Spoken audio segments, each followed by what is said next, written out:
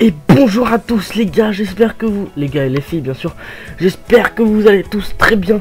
On se retrouve non pas sur le mode My Tour, euh, mais sur le mode, euh, bah, sur le mode Tour tout court, sur le mode Tour de France pour la suite de notre Tour de France avec la Cannondale. Donc on se souvient la dernière fois à Longwy, on avait fait une deuxième position avec Rigoberto Uran juste derrière Kwiatkowski qui était le maillot jaune d'ailleurs, hein, vu qu'il avait gagné euh, la première étape. Là c'était de la plaine et du coup rien. On avait, été très proche de la victoire avec Tyler Finney sur la deuxième étape. Mais bon, ça c'était pas conclu. Donc voilà, donc on va directement passer. Donc je vais vous laisser la petite cinématique de Mondor les Bains Vitel. Euh, donc euh, voilà.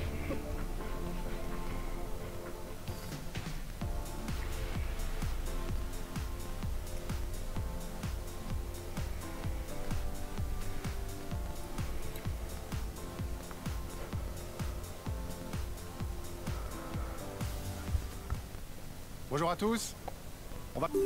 Désolé, on va, le couper, on va couper le directeur sportif encore une fois. Donc voilà, une étape de plaine qui devrait... Qui doit a priori se passer... euh, qui devrait a priori se passer que normalement... hein. Il devrait pas y avoir de problème euh, sur cette étape. euh, avec euh, Rigoberto Uran. Donc on va enlever... On va envoyer quelqu'un dans l'échappée évidemment pour pas, pour pas s'ennuyer non plus. Donc on se retrouve tout de suite pour voir les formes du jour. Donc on a un Water Whippert en mauvaise forme. Il est vraiment rincé, hein. que ce soit au niveau des notes, on a on a 54 montagnes. Et euh, au niveau de la, forme, là, euh, de l'énergie. Donc on risque, bah voilà. On va du coup envoyer quelqu'un en échappé. Un Whippert n'est pas en mesure de disputer le sprint final à mon avis. Alberto Bettiol qui risque d'aller dans l'échappée, il a une bonne forme. Donc euh, on a fini qui veut conserver les maillots à poids. Van Barle le maillot blanc, ça devrait le faire pour les deux à mon avis, même si fini ça se trouve. La place va lui coûter, mais bon. Couran qui va rester tranquillement dans le peloton. Et du coup, on va prendre Alberto Bettiol et on va tenter euh, de partir dans l'échappée du Le jour. scénario de cette étape est-il déjà écrit d'avance? Car compte tenu de l'absence de difficultés majeures, les équipes de sprinteurs devraient maîtriser les échappées pour se disputer la victoire au Allez avec Alberto Bettiol, on est dans Mondor-les-Bains, on va bientôt quitter le Luxembourg pour, être- pour rentrer officiellement dans la France. En France. Et allez, je vais attendre que quelqu'un lance l'échappée. Ça devrait pas tarder, il y a un Lotto Soudal qui va à l'avant. Bon, il y a André Greipel évidemment qui est peut-être un favori aujourd'hui. Moi je vous dis, je vous donne un conseil, euh, attendez tout le temps que quelqu'un euh, prenne l'échappée avant d'y aller. Parce que sinon, Désolé, petite coupure. Donc euh, voilà, attendez toujours que quelqu'un parte parce que si vous partez en général, personne va vous suivre. Donc voilà, vaut mieux suivre vouloir être suivi. Et voilà, on a Lilian Calmejane qui vient de lancer une échappée. On va le suivre avec Alberto Bettiol. Donc allez, on va prendre l'échappée. Donc on va rester jusqu'à temps que l'échappée se forme véritablement. On est deux. Je vais rappuyer un petit peu sur les pédales. Oula, je vais appuyer un petit peu sur les pédales. Donc virtuel maillot blanc. Bon, si on est que deux, ça risque pas d'aller au bout, mais bon. On va essayer de faire un spectacle. C'est toujours mieux d'être deux que d'être tout seul. Hein. Je sais pas si vous avez vu cette étape en vrai. Je me souviens, je l'ai presque vu en entier. Les vacances, hein. j'ai que ça, à faire regarder le Tour de France. J'ai presque vu en entier. Guillaume Van Kersbuck a fait littéralement toute l'étape en tête. Ça devait être euh, très très dur. Et il le méritait, son, euh, son drossard du combatif ce jour-là. Donc voilà, on est dans une petite descente, on va bientôt quitter le Luxembourg, donc je vais vous lâcher quand on va le quitter. hein. Ça à 190 km de l'arrivée, c'est dans 3 km environ. Un peu moins de 3 km. Donc voilà, on va... Oula, il reste à 1 minute 30, donc c'est bon, ça avance. Donc allez, le dernier village, avant de quitter le Luxembourg, on passe euh, sous un... Sous une... Ah bah non, on passe pas sous la petite rivière. Donc là-bas, je sais pas, non, on n'aperçoit pas les panneaux. Ce qui devrait bientôt arriver. Et voilà, on a pris 1 minute 40. Donc on risque de partir avec Alberto Bettiol et Lilian Calmejane. Ouais, c'est bon. Il n'y a pas de danger au classement général. Niveau place 49e et 64e. Il n'y a pas de danger. Et du coup, voilà, on passe la frontière franco-luxembourgeoise et on entre officiellement en France pour euh, les derniers 3000 km de ce tour. On va se retrouver euh, pour le sprint intermédiaire avec Whippert, hein, voilà, autant, le jouer avec quelqu'un. Donc allez.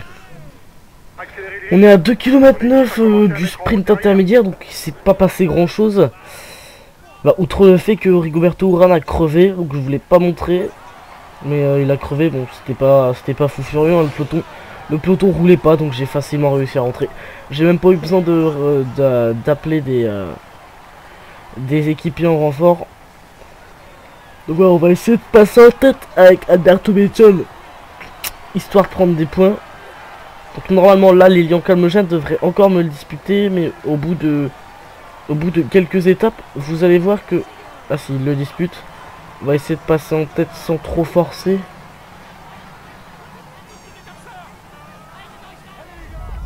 voilà c'est bon on n'a même pas forcé on dirait que lui il a forcé par contre voilà le petit parc à droite ouais c'est un parc donc on va passer sur Water Rupert euh, ah oui je vous ai pas dit aussi dans cette étape, on va faire, euh, dans cette vidéo, on va faire trois étapes. Donc, euh, étant donné que c'est un tour où les étapes de montagne sont assez réparties, on peut se permettre de faire, euh, de faire le tour en cette vidéo de trois étapes. L'année prochaine, ça risque d'être 8 vidéos. Parce que je sais pas si vous connaissez la, la première, la le début de la deuxième semaine, c'est trois étapes de grosses montagnes. Risque d'en faire deux évidemment ou alors une vidéo d'une heure. Je sais pas si vous aimez.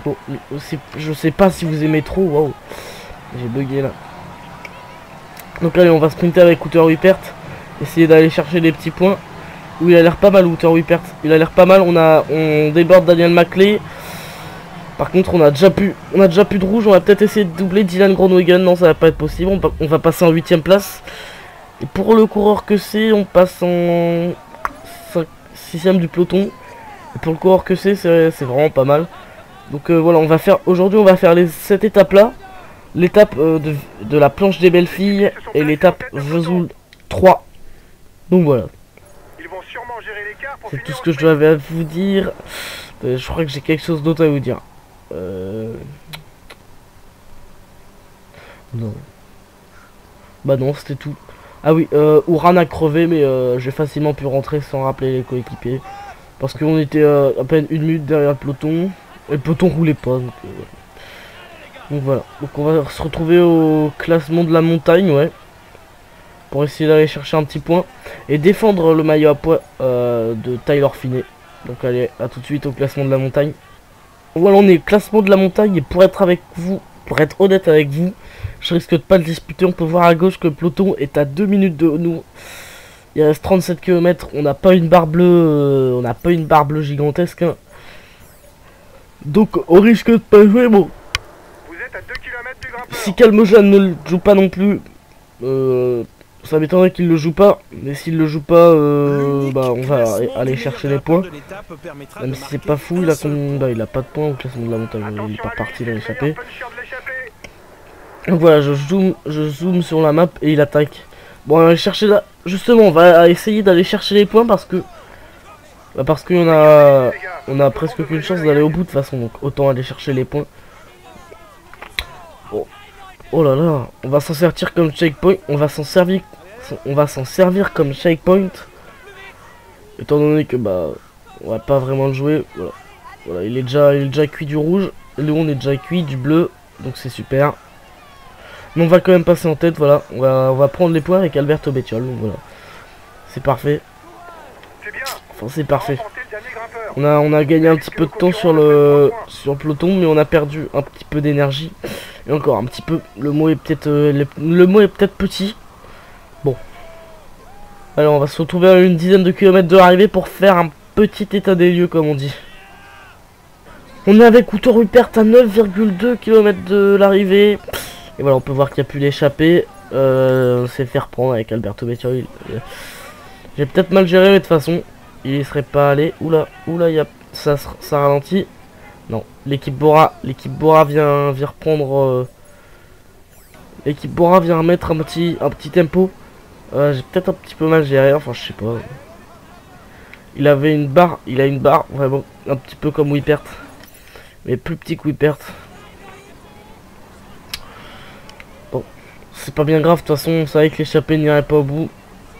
y a la Bora, la Dimension Data. Euh, qui roule euh, à une extrême vitesse. D'ailleurs, moi, je sais pas, euh, il y avait le débat avec la Bora, évidemment, et la Dimension Data de Sagan et Cavendish, là, sur le Tour de France. Moi, je sais pas, je trouve que... Il y en a, ils trouvent que- Euh, bah voilà. Merde, 5 j'ai pas donné. Il y en a, ils trouvent que ça se discute. Il y en a, ils trouvent que... Il y en a, ils trouvent que... Oula, je... Je, je retrouve pas mes mots. Il y en a, ils trouvent que c'est volé. Il y en a, ils trouvent que c'est... Que c'est... Que c'est mérité. Moi... Déjà, j'ai pas trop envie de me lancer dans ce genre de débat. Mais pourtant, je le fais. Je suis un peu con, d'ailleurs. Mais euh... D'accord, André Greipel qui lance le sprint. Sagan qui veut lancer le sprint, même. On va essayer de faire le meilleur sprint possible avec euh, avec euh, Wouter Rupert. Ça gagne, il y a toujours quelqu'un pour l'emmener. hein. Franchement, franchement, parfait. Parfait là. Là, il a toutes les chances d'être bien emmené. Je vais prendre la roue de Mark Cavendish. Allez. Je vais consommer tout le ravito. Je vais donner à tout le monde. Je vais dire à tout le monde de se placer à l'avant pour sprinter. Et je vais prendre la route de Mark Cavendish. Oula, je, je prends, plus la route de Boissanagan là, j'ai l'impression. Allez, on va sprinter avec Wouter Rupert. Oula, oula, ça a l'air Boissanagan qui va peut-être s'imposer là. Ah non, il a l'air faiblir, il a l'air faiblir. Et c'est Mark Cavendish qui va le doubler. Non, en tout cas, on va pas aller s'imposer avec Wouter Rupert. On va... Pour être honnête avec vous, j'ai même pas vu la place que j'ai fait. Bon. On avait un minimum de barres rouges. hein. On avait un minimum de barres euh, de barres bleues. Voilà, avec, euh, avec Alberto Bettiol, on finit en peloton pareil. Tout le monde finit en peloton. Voilà, une étape qui a, été assez, euh, assez mouvementée, mais assez tranquille à la fois. Donc voilà, c'était euh, c'était juste avant la... Voilà, on va pas dire la grosse étape de montagne qui attend Ouran. Mais l'étape de montagne qui attend donc voilà, on garde le maillot blanc, pas le maillot à poids. Bon. On perd le maillot à poids. Alors là, bravo les gars. Vous avez fait une bonne étape. Finir dans le top 10 alors que l'étape ne nous convenait pas, je suis très satisfait. Du coup, avec Hubert, on fait une 9ème place. Bon, c'est pas, c'est pas dégueu. Hein. Son objectif, c'était le top 25. Euh, du coup, même Ouran est, est 32ème. Voilà, du coup, c'est Marcel Kittel qui s'impose devant Michael Matthews et Arnaud Demar devant euh, Sonny Colbrelli qui était en mauvaise forme. hein, tiens. On a Alberto Bettiol qui a pris le point de la montagne. Kittel qui a pris un max de points aujourd'hui. On ça. Dylan Groenewegen, euh, bon ça on s'en fiche un petit peu. Voilà, et du coup la combativité, même Kalmejan est devant nous. C'est Gwiatkowski qui garde le maillot jaune, nous regardez avec Ouran, on a déjà euh, 13 secondes d'avance sur euh, Richie Port, donc c'est déjà... On peut pas cracher dessus, on peut pas cracher dessus, ça c'est sûr. Voilà, euh, c'est Kwiatkowski qui garde le maillot jaune. Euh, Adam Hansen qui, euh, bah du coup, il prend le maillot à poids, ok, on n'a pas trop compris. Le maillot vert, Marcel Kittel qui le prend à Marc Cavendish. Même si Marcel Kittel il est très souvent hors délai sur l'étape de Nantes Chambéry. Euh, le maillot blanc c'est pour Dylan Barl encore. Pour une seconde devant Damien. Euh, la Sky, meilleure équipe.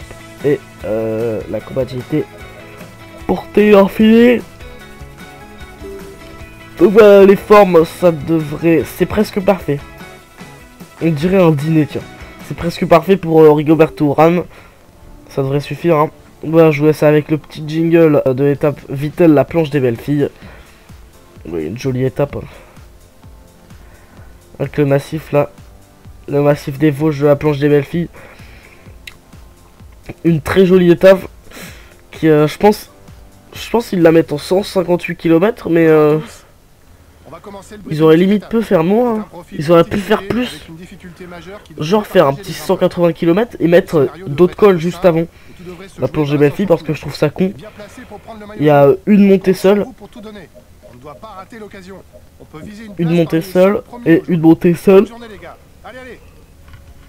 Même si là il y a un col avant, c'est pas lui qui fait la différence. Alors que là par exemple, là le col, le col du télégraphe il peut faire la différence. Là tous les cols font la différence. Là tous les cols font la différence. Paye ressources fait encore plus la différence. Bon là par contre il fait pas la différence mais bon euh, c'est tellement un gros col quoi. C'est un gros col le mont du chat là. T'as la planche des belles filles qui vaut presque rien à côté. hein. Donc allez on va partir pour cette étape. Donc ouais, évidemment euh, on va on va pas envoyer quelqu'un. On va on va envoyer personne aujourd'hui parce qu'on va se focaliser sur Rigoberto Urán et la possibilité de victoire d'étape. On va jouer le sprint intermédiaire hein, pour s'occuper, pour pas que ça soit une vidéo vide concrètement. Euh, mais sinon on va envoyer personne. Donc on a euh, Romain Bardet, Daniel Martin et Richie Porte en favori du jour. Je crois qu'ils ont oublié Rigoberto Urán. Rigoberto Urán est très remonté.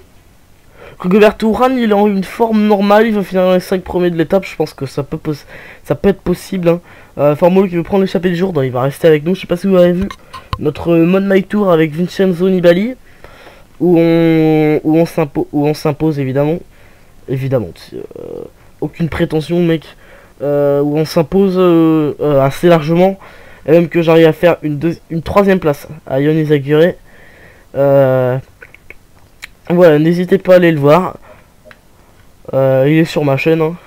juste avant, juste avant les autres vidéos, juste avant la première, la première, la première vidéo de Story avec la Canada. On a Pierre Roland, Tansky qui est en bonne forme, donc on va les utiliser tous les montagnards.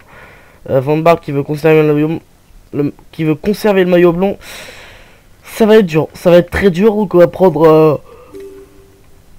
Bonjour à tous, c'est un grand rendez-vous. Oh, on va prendre 8 pertes pour aller chercher bien que cette ascension soit apparue sur les récents parcours du tour, elle n'en est pas moins les points euh, de la, de la les points du sprint.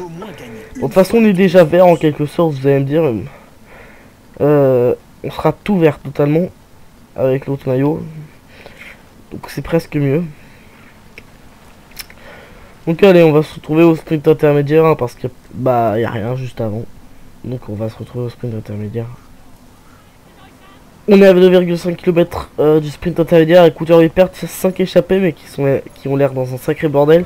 On a Eduardo Sepulveda, Thomas de Simon Geschke, euh, Martin Lamertink euh, et Pris On va essayer d'aller chercher un maximum de points.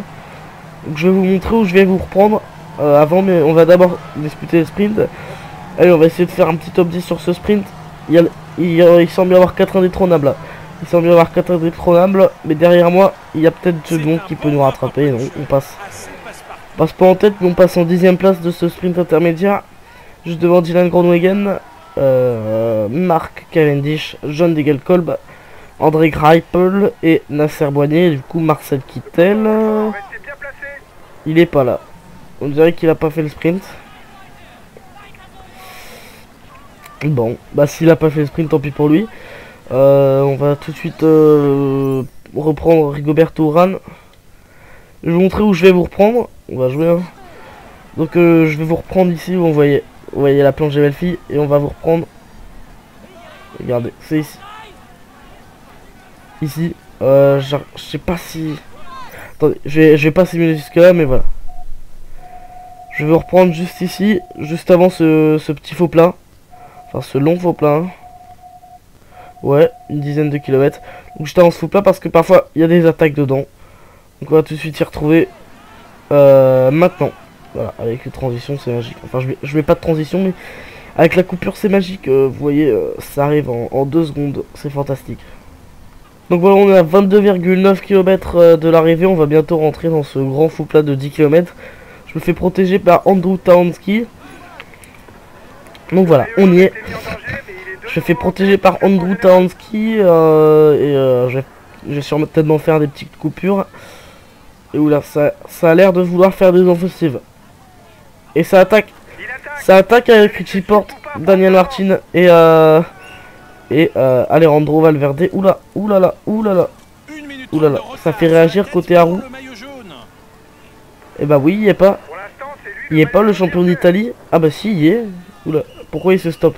Ah, personne personne veut rouler pour l'autre. Bon bah je vais je vais rattraper le groupe tout seul. C'est assez bizarre quand même qu'ils aient pas su s'entendre parce qu'il y avait euh, il y avait quand même juste derrière. C'est un peu con. Bon moi je vais pas rouler pour les rattraper parce que la victoire d'étape ça m'intéresse pas tant que ça. On aura largement l'occasion de la voir sur euh, d'autres étapes hein. comme euh, Chambéry, euh, Serre Chevalier où ça c'est assez facile. Péragude ou même des étapes de, moyenne de ou même des étapes de vallon hein. comme l'étape Blagnac Rodez que j'aime bien. Honnêtement que j'aime bien parce que avant euh, en 2015 il y avait déjà vu une arrivée à Rodez mais c'était euh, en fait en 2015 c'était la même côte que cette année là que cette année. Mais ils l'ont fait d'une autre façon euh, si vous voulez aller voir la chaîne de Future Gaming, vous allez voir qu'en fait c'est la même côte mais ils l'ont fait d'une autre façon. Il a fait euh, genre, euh, euh, il a comparé les finales d'étape de 2015 jusqu'à 2017. Donc c'était assez, assez bien expliqué. D'habitude, j'aime pas trop sa chaîne, mais cette vidéo-là, elle m'a vraiment plu. Donc voilà, je vous le dis. Je fais de la pub gratuitement comme ça. Euh... voilà, on est à 16 km de l'arrivée. Et oui, sur Blood Micro Days, il y a l'arrivée en côte. En 2017 c'est pas c'est la même côte mais elle est pas elle est pas représentée par elle est pas représentée euh, euh, de la même façon en 2017 qu'en 2015 désolé pour la petite coupure. Je pense que vous l'avez certainement eu en 2016 Attends, ça fait que de gueuler derrière moi c'est incroyable. Je pense que vous l'avez certainement eu en 2016 et l'arrivée à Rodez n'était pas la même qu'en 2017 moi d'ailleurs j'étais opté enfin j'ai pas trop compris. C'est la même côte mais c'était pas la même façon ils ont même coupé la route en deux. Euh, non, non, ils ont pas coupé la route, mais ils étaient pas en, 2000, en 2015.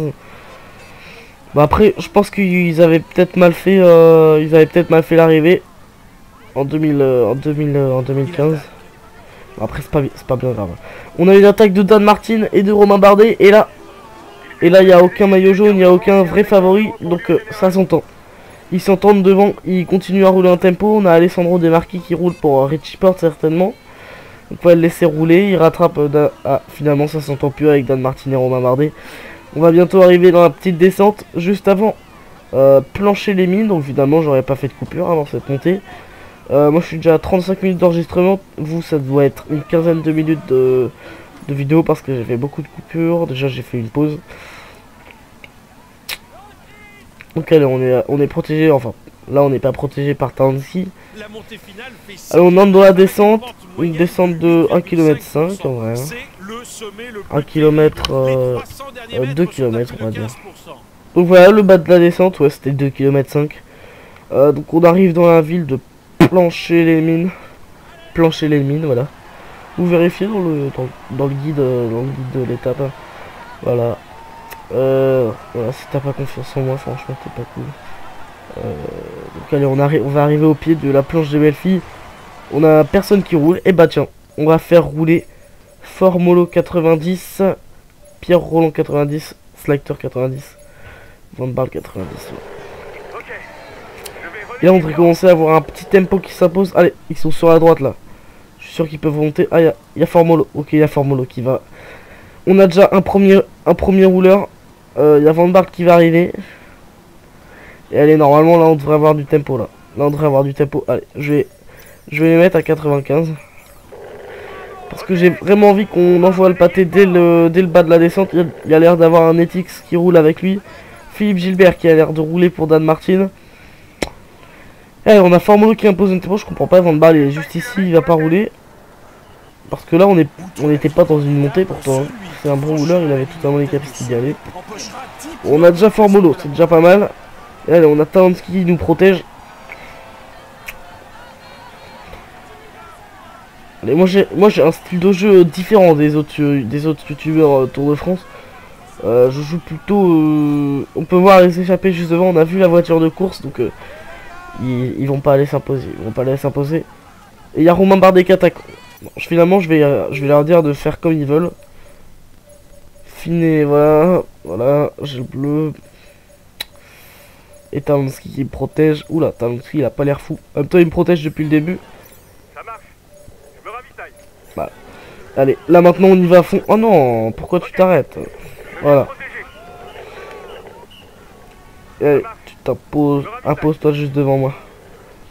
Impose ton rythme. Impose ton rythme. Il y a Valverde et Daniel Martin qui euh, sont allés à la recherche euh, de Romain Vardet. C'est bizarre Valverde. Il fait pas confiance au Quintana. Aujourd'hui, ça se trouve, c'est lui le boss. Ah non, il a l'air de rouler. Il roule. Tant pour moi, il roule. Euh, donc, euh, qui est juste devant nous. Notre acolyte. Je vais prendre sa roue. Et là, il va aller faire euh, le boulot. Je vais lui donner le gel rouge. Et je vais le redemander de protéger parce que ça fait bugger. Euh, là, il y a du gel rouge à donner. Ah merde, c'est pas grave. gel rouge. Rouge, voilà. Allez Tansky, on est à 4 km du sommet de la planche des belles filles. Euh, finalement ça va faire une belle vidéo en vrai. Allez on est à 4 km du sommet de la planche des belles filles. Le groupe maillot jaune est maintenant à une Allez on est dans un petit, un petit replat. Allez Tansky qui nous emmène extrêmement fort. On a rattrapé l'échappée du jour. Euh, non, on les a pas rattrapés. Il reste Sepulveda, Geschke et De Rent à l'avant. Non, oh, on est sorti du peloton. Ils sont juste derrière nous, mais on a pris quelques secondes d'avance. Je vais reprendre, je vais prendre mon gel à fond. Je vais donner gel bleu ici. Gel rouge ici, voilà. Normalement, il n'y a plus grand chose. Je vais compléter euh, ma barre de rouge. Et là, on a Tansky qui nous emmène à fond là. Il a presque plus d'énergie. Je vais lui demander. Je vais faire un 100. Au lieu d'un protection, je vais faire un 100. Et en tout cas, Tansky, il aura, il aura vraiment bien, il aura vraiment bien couru aujourd'hui. hein. Aujourd'hui, il aura fait le taf dans cette planche des belles il est presque plus capable. Il est presque plus capable.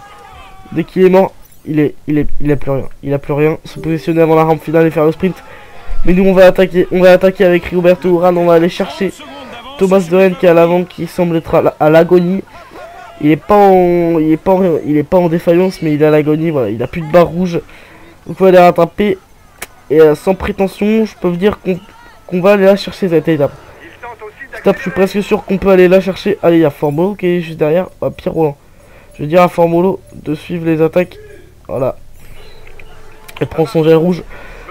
Et allez, on a. Oula, on a Froome qui sort du groupe, euh, des groupes, du groupe des favoris. Il veut venir me chercher. Je vais garder un petit peu de rouge pour la rampe finale. Et voilà, Thomas Doran qui est en défaillance. 15%. Il aura fait une très belle échappée. hein. Il est parti dès le début. Oh là Oh, il se fait gêner. Qui s'est fait gêner par Thomas Doran. On a le groupe des favoris juste derrière nous, vraiment. Ils vont perdre très peu de temps. On aura la victoire d'étape, mais on va, on va gagner très peu de temps. Mais ce sera toujours ça. Aou, Aou qui tente de sortir. Allez, on est dans, on est dans, on est dans un petit replat. On les passage à 16%. Et allez, on va attaquer à fond. On va attaquer à fond. On va donner tout notre rouge. On va donner tout notre rouge pour aller le plus vite possible. On va aller s'imposer avec Rigoberto. On a Fabio Aru qui tente de sortir derrière. Et voilà, on s'impose avec Rigoberto Urán au sommet de la planche des belles filles. Hmm, magnifique victoire.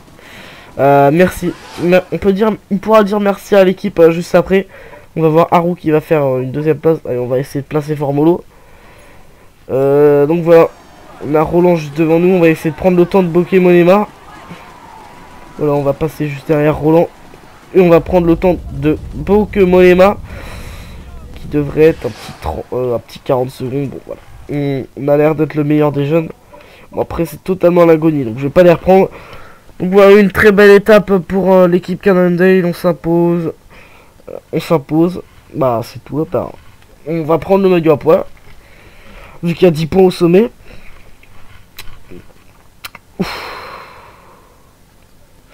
Du coup, c'est une libération. Là, on prend, on, on prend la. euh, c'est la première victoire. Bah voilà, c'est la première victoire du tour. Et du coup, ça fait plaisir. Il a su déjouer tous les pièges pour s'imposer Voilà, aujourd'hui. le podium Voici le vainqueur pour euh, Rigoberto Urán, la victoire d'étape. le podium pour recevoir Le son maillot, euh, le maillot, le maillot jaune évidemment. Vu que Michel France. Katonski était loin derrière. Le maillot à poids et le maillot blanc pour Davide Formolo. Voilà, je, je skip vite les. euh, Bravo les gars, félicitations à vous. Bien qu'on jouait les premiers rôles, mais de là à gagner cette étape, vous avez réalisé une superbe performance. Bravo pour cette victoire. Merci le directeur sportif. Voilà, on avait un objectif de top 5. Et on s'impose finalement, donc c'est parfait. Euh, Urán qui s'impose du coup. Devant Fabio Aru, Richie Porte, euh, Romain Bardet qui sont en 23 secondes.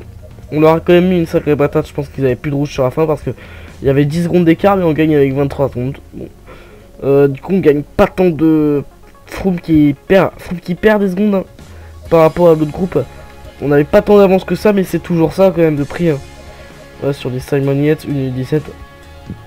Là, ça c'est hors course du coup. Tout ça c'est hors course. Euh, de toute façon, on savait déjà que Simon Yates remporterait pas. Remporterait pas le tour.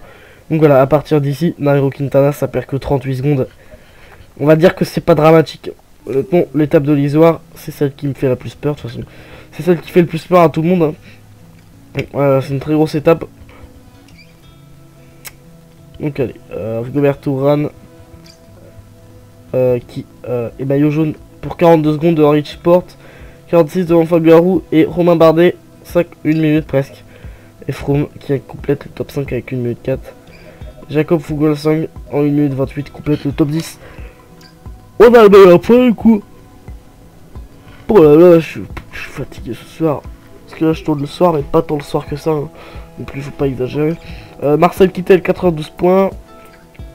David Formolo, euh, donc Marcel Kittel, maillot vert. David Formolo, le maillot blanc. Et Cannondale, l'équipe. Et euh, on est encore le meilleur combatif. Mais ça devrait pas rester. Donc je vais pas prendre l'échappée non plus sur l'étape. Euh, sur cette étape là parce que il y a du vent. On peut le voir. Bon, je vais vous laisser le petit, le petit jingle. Donc voilà, l'étape Vesoul 3. Toute plate. Vraiment toute plate. Et voilà, 3. Vraiment une étape toute plate. Euh, mais avec du vent sur la fin. Une tranche de 10 km de vent. Bonjour à tous. Ça fait très mal, ça fait souvent très mal. Euh, désolé le directeur sportif. J'aime bien quand tu me complimentes à la fin, mais là quand tu me donnes des armes, c'est pas terrible. Euh, donc euh, la partie finale est explosée au vent, ça peut provoquer des cassures. Il faudra rester à l'avant du peloton, évidemment. Mais si on a encore ce fameux bug dans ce jeu qui nous fait descendre à l'arrière du peloton, ça va être compliqué. Donc allez, on va partir pour l'étape Vesoul 3 et on va tout de suite voir les notes, les formes du jour. J'espère euh, qu'il n'y aura pas de mauvaise surprise pour Rigobert Touran parce que euh, cette, euh, petite cette petite tranche de 10 km de vent elle fait souvent extrêmement mal parce que justement vu que c'est très court c'est très très douloureux donc allez on va partir Water perd en bonne forme en excellente forme mais de toute façon toute façon son énergie ça étonnerait que ça permette de passer cette zone de vent hein. Alberto Becciol Tom Selector qui a une excellente forme. Peut-être peut-être tenter des trucs dans le, dans le final avec lui, peut-être euh, pour rouler. Qui a une excellente énergie, par contre, une excellente barre d'énergie. Ourad qui est pratiquement à fond, qui veut conserver la jaune. J'espère vraiment que va pas y avoir le fameux bug euh, que je pense que vous le connaissez là. De toute façon dans le jeu, c'est dommage parce que cette année, euh, bah, voilà, on peut pas dire que c'est un mauvais jeu, hein. c'est franchement un très bon jeu. Pas beaucoup d'améliorations par rapport à l'année dernière, mais beaucoup de bugs en plus. Et ça, c'est vraiment assez chiant. Ok, on va tout de suite retrouver. Euh, là, là, par exemple, c'est ça, c'est un truc que j'ai envie de vous dire. Je trouve ça vraiment nul d'avoir ça. C'est dommage qu'il y ait les, qu'il euh, qu'on voit que le départ réel quand même, parce qu'au final, la ville de départ, bah on la voit pas. Alors qu'en vrai, on est censé la voir. Et là, du coup, on part d'une ville, euh, alors que c'est même pas la vraie ville de départ. Et parfois, départ, on, euh, parfois on, départ dans le, on démarre dans le vide, en fait. On départ dans la campagne et tout, il n'y a même pas de ville, donc c'est dommage. Euh, il n'y a que pour les trois premières étapes en ligne qu'il y a eu quelque chose. En tout cas, c'est lancé à l'avant avec Alopin et Lutsenko. Et du coup, c'est dommage, ça serait bien qu'ils rajoutent le départ fictif l'année dernière, genre. Et par exemple, une petite idée comme ça, vous vous envoyez à, à si vous le voulez. Euh, par exemple, qu'on dise, qu'on dit, genre pendant le départ fictif où il se passe rien, on peut aller voir. Par exemple, là, je suis avec Rupert et là, je vais voir, euh, je vais voir Sepulveda et je lui dis, eh, est-ce que tu roules aujourd'hui, genre voilà, un truc comme ça. Et puis lui, il me répond euh, soit oui, je vais rouler pour mon sprinter, soit non, je vais laisser rouler les autres équipes. Par, par exemple, c'est un exemple. Et je pense que ça pourrait être vraiment bien. Donc voilà, si à bon entendeur, euh, à bon entendeur, si quelqu'un veut rajouter ça. Si, euh, si veut bien rajouter ça, ça serait, ça serait excellent. Et je pense pas que ça, ça demande euh, énormément de modifications. Hein. De laisser le départ fictif, de laisser le départ, euh, de laisser le départ, de laisser le départ normal. Ça, ça demande, ça n'a pas demandé énormément de modifications. Donc voilà, donc on va tout de suite retrouver au sprint intermédiaire. J'espère que bah si vous êtes sympa, vous allez le dire à Cyanide. Ils ont une boîte mail je crois donc euh, voilà. On a 2 km du sprint intermédiaire avec euh, Router 8 pertes. Et du coup on va jouer. Allez, ça lance déjà avec John Dekencombe, Nasser Boigny, Cavendish. Le sprint intermédiaire de Chaumont. Voilà. Donc on va essayer de passer à la meilleure place possible. De toute façon à mon avis Whippert il sera hors délai euh, à Chambéry. À l'étape non à Chambéry il va il va il va gerter euh, il va gerter du tour. Et il y a beaucoup de chances que ça soit que ça soit ça. Ça je l'ai pris comme ça ça nous sert à nous occuper un petit peu dans ce début de tour du coup je n'ai même pas fait attention on a dû faire on a dû, ouais. On est passé je vais regarder. On est passé 7ème du peloton. Euh, non, 7ème euh, 7 du sprint intermédiaire. C'est pas mauvais, on a pris quelques points. Je sais pas d'ailleurs combien on est exactement avec Wippert. On est 18ème, ok. Allez, ouais, on va tout de suite retrouver pour la zone avant. En espérant... Moi j'espère qu'il n'y a pas de vent parce que je suis très mauvais là-dedans. Mais euh, s'il y a du vent, tant mieux, ça va faire un peu de spectacle. Donc voilà, euh, on est à 11 km de l'arrivée, hein, comme vous pouvez le voir. J'ai l'air un petit peu stressé parce que j'ai plus beaucoup de place sur mon PC, j'ai fait un très gros enregistrement. Donc on est à 11 km de l'arrivée et il n'y a aucune touche de vent, donc on va se retrouver à 5 km de l'arrivée, voilà, c'est une étape de plaine. euh, ça aurait été une étape de plaine banale. On est à 5 km de l'arrivée avec Outer Rupert, on va essayer d'aller chercher euh, une petite place, il y a certainement possibilité de faire quelque chose hein, avec Outer Rupert, et allez. Allez, on est, euh, on est dans les trains des autres sprinters. Il y a, y a deux gros trains, Laborin et la Dimension Data, toujours présents. On est, on est dans trois. Euh, on a euh, Alexander Christophe qui est juste ici normalement. Et allez, on la route Bossenhagen pour le virage. Je donne le gel à tout le monde. Je vais leur demander de sprinter. Allez, Victoire Hyper va prendre son gel aussi. Le gel bleu, le gel rouge pour euh, se mettre totalement à fond. Le dernier virage. Et allez, on va lancer. On va lancer avec Couture Hyper. Les autres n'ont toujours pas lancé. Et voilà, ils commencent à lancer. Oulala, il y a peut-être une possibilité avec Couture Hyper. On est d'Alexander Christophe. On a déjà plus de rouge. Et du coup, on va devoir arrêter notre sprint. Et on va faire une septième place si je dis pas de bêtises. Oh là là, oh là là. euh, honnêtement, bah, on peut pas faire mieux avec Hyper. Il a une étape de plaine pour lui parce qu'à mon avis, il va, il va jarter à l'étape de Chambéry. Donc, voilà. Ok, Matteo Trentin qui vient d'arriver. On garde le maillot jaune, euh, le maillot à poids et le maillot blanc normalement. Il va monter sur le podium. pour- Il est Tout est en bon.